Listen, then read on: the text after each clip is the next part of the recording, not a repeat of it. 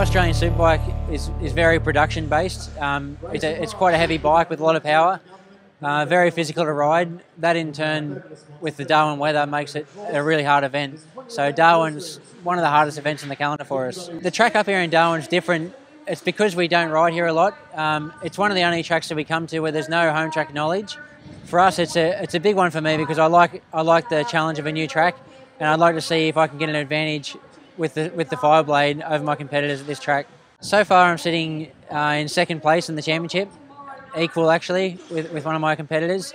Um, I'm coming off a two-year defending champion, so I'm I'm hoping that I can start my, my late season charge here at Darwin and hopefully hopefully get a few race wins and, and get me right back in the championship hunt for the lead. Yeah, I just like to see all the locals out there. It's it's been a great event in the past. It's one of the most exciting tracks in the calendar, with with the highest top speed I think of any track, and, um, and we're going to put on a good show for you guys. Hi, I'm Troy Herfoss. I ride for Crankt Protein Team Honda, and you're watching Darwin TV, Channel 41.